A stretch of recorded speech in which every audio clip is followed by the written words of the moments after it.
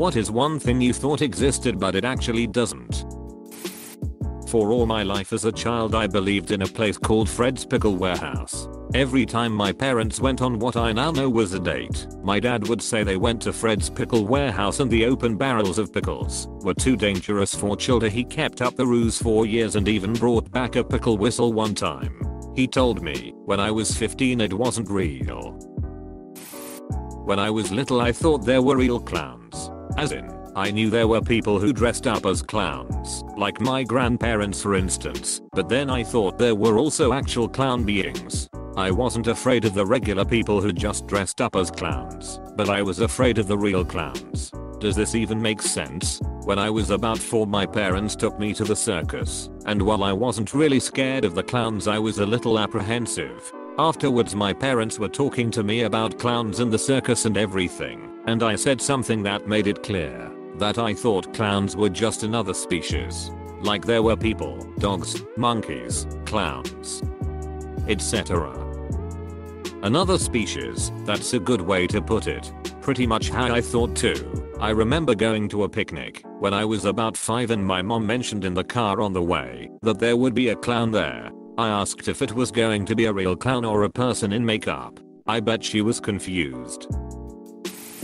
This didn't happen to me, but a guy I work with one told me his friend thought a pepperoni was its own animal up until he was 20. A four-legged creature called a pepperoni. The black market. I literally thought there was a market you could go to to buy illegal items.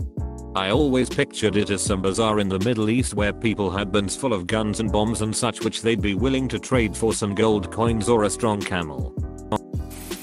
I thought yams were animals, more specifically a crossbreed between a yak and a ram. That sounded correct in my mind until my 10th grade honors English class told me otherwise. When I was little my grandmother had a little house plant that she put marshmallows on the ends of the branches that we would pick and eat when we visited. When she left she would put mini marshmallows where we had picked the big ones and told us we had to wait for those ones to grow back. So until I was a lot older I thought that there were marshmallow trees. I used to think that everyone who had a bank account literally had like a pigeonhole with their money in it they deposited. And when someone wanted to take money out the teller would take it from the pile of cash he had lodged over the years. It was a sad day finding out this wasn't the way it is. I thought that those anti-gravity chambers that astronauts use in certain movies were real. It wasn't until one day in a science class we were talking about gravity and the teacher said something along the lines of there are actually people that think you can just turn off gravity using a machine like in the movies. Everyone else was just like wow there are some dumb people out there. On the outside I was saying PSSH I know right, who would ever think that? But on the inside I had no idea that it wasn't a real thing. Edit, I know about the vomit comet, but when I was younger I pictured NASA having this huge room where they basically could just turn off the gravity inside.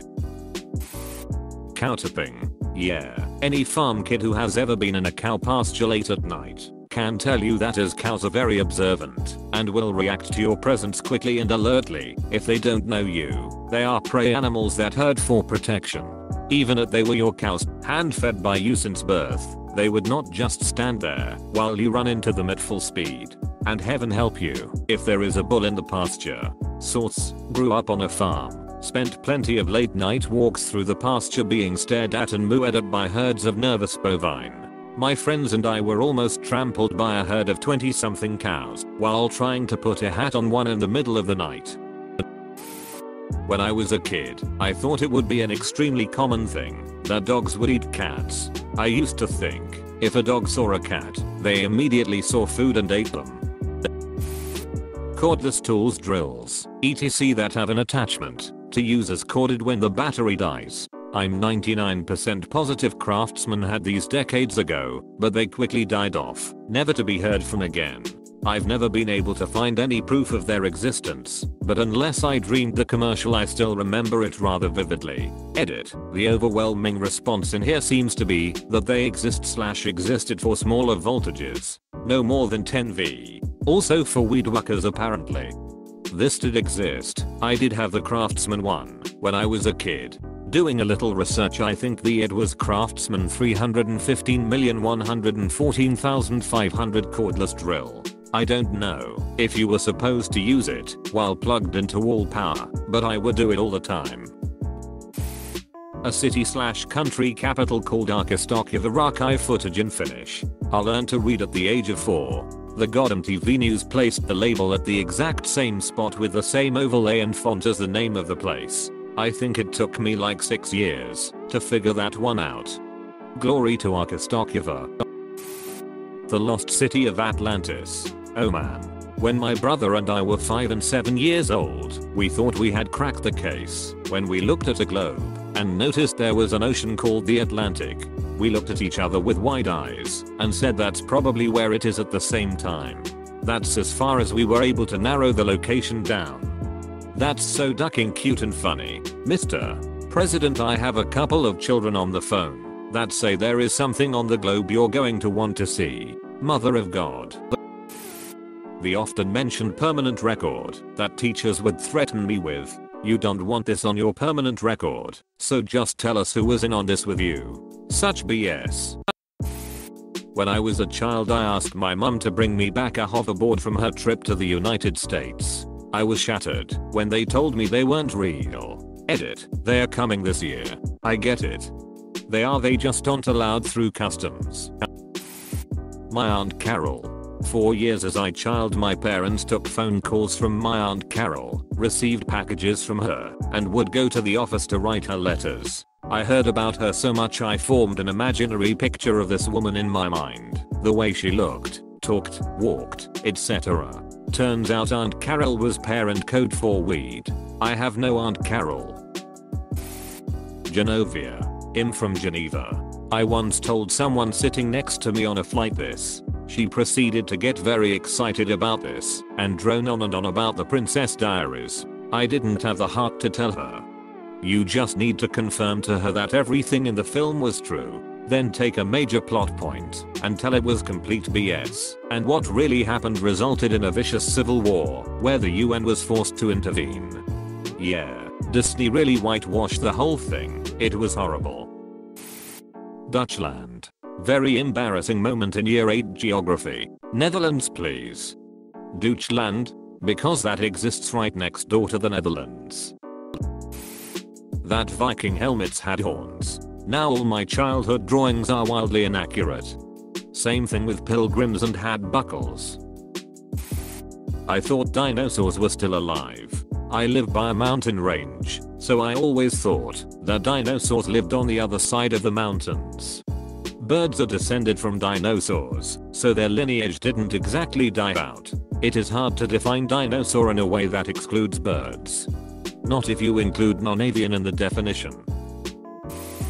Lucky birthdays. It's the birthday. When your age is the same number as the date of your birthday, it's meant to be an extra special birthday. So mine was when I was 8, as my birthday is the 8th of November. At university I exclaimed how I was jealous that my brother was celebrating his at the age of 27 and how I didn't remember mine because I was so young. Everyone looked at me like I was retarded. And that's when I discovered that my parents lied to 8 year old me to make me feel special. Edit. The worst part is that my brother, who is a doctor, went telling all the nurses that it was his lucky birthday to which they all nervously laughed. When I called him to tell him about my universe altering discovery it suddenly dawned on him what a massive pervert he must sounded like. We called them golden birthdays. I got to make a lot of inappropriate jokes when I turned 26. Well one joke a bunch of times really. Robots that can talk to you. When I learned first about robots as a kid, I thought the ones that can recognize you and talk to you etc are already there. Since I learned the computers can calculate things in seconds that would take human months, this seemed so easy in comparison. Many years later I learned the true complexity of such things and the fact that they don't exist even today. The Brontosaurus. After watching The Land Before Time, when I was a little kid I thought Littlefoot and his kin were the best s coolest dinosaurs around, the Brontosaurus. Then I read an article a couple of years ago saying the Bronto never existed. Nope, nah, pterodactyl shit, it didn't it's awesome. Edit. Sorry for creating an extinction level event on your childhood. Jackalopes. They are evil. A brisk transition from childhood to adulthood. All I got was a slow realization that things usually suck more than I thought. When my grandpa turned 80, I asked him when he first felt like a real adult. He said, I'll let you know. Apostrophe. Yeah we're all just winging it. So true. Thank god my kids haven't figured me out. A French to English alphabet. I seriously thought that you could convert them letter for letter, like some sort of cipher. How I thought this, I don't know, especially seeing as how my grandparents and my mom spoke Italian to each other regularly, and I knew that didn't have a letter for letter correlation.